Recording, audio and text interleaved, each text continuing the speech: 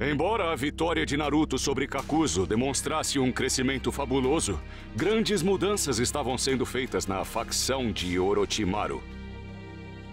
Sasuke havia se rebelado contra seu mestre.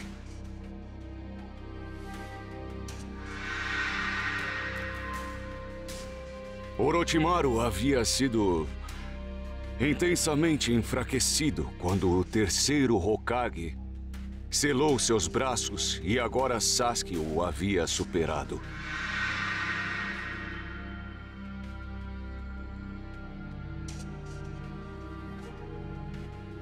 Ele era inútil para Sasuke, buscando usurpar o poder de Orochimaru para si. Sasuke queria assassiná-lo.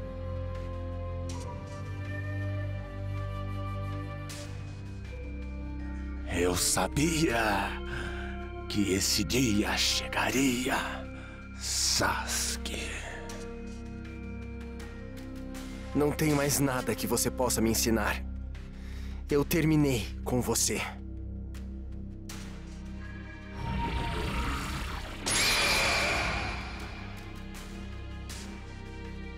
Isso acaba aqui.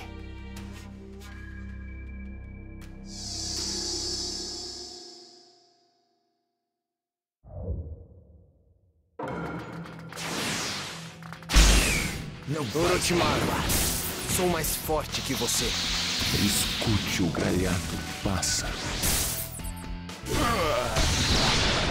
Toma essa! Você só consegue capturar os fracos. Isso não funcionou com Itachi. É por isso que veio atrás de mim? Mesmo assim, você ainda não conseguiu no final. Você não conseguiu se igualar a um Uchiha, muito menos superá-los. Não importa que você seja um gênio.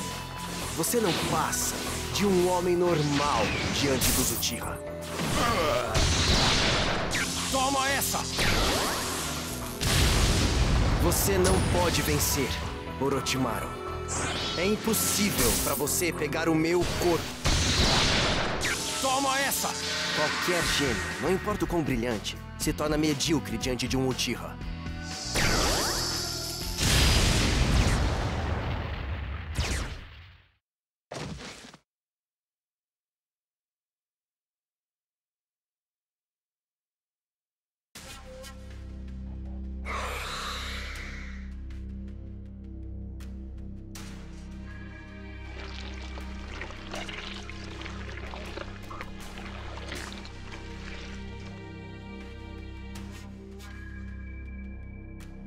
Uma cobra que rastejava na terra sonhava em voar pelo céu, sabendo muito bem que isso era impossível. Ainda assim, ela ficou de olho em um filhote de ave que cuidava em seu próprio ninho, em vão, sem perceber que. A cobra era presa, porque a ave era um falcão pronto para subir aos céus.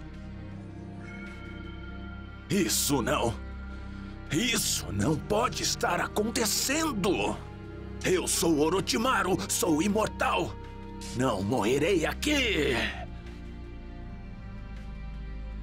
Eu sou aquele que vai descobrir os mistérios da natureza. Eu receberei tudo.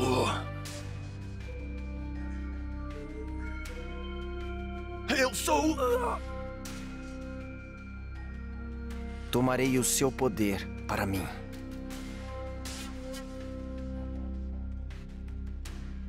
Derrotado pela proeza visual de Sasuke, Orochimaru foi subjugado.